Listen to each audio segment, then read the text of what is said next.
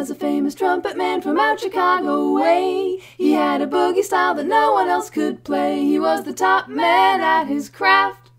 But then his number came up and he was gone with the draft. He's in the army now, a blowin' reveille. He's the boogie woogie bugle boy of Company B. They made him blow a bugle for his Uncle Sam. It really brought him down because he couldn't jam. The captain seemed to understand because the next day the cap went out and drafted a band. And now the company jumps when he plays reveille. He's the boogie woogie bugle boy of Company B. A toot, a toot, a toot diddly out a toot. He blows it eight to the bar and boogie rhythm. He can't play a note unless the bass and guitar is playing with him.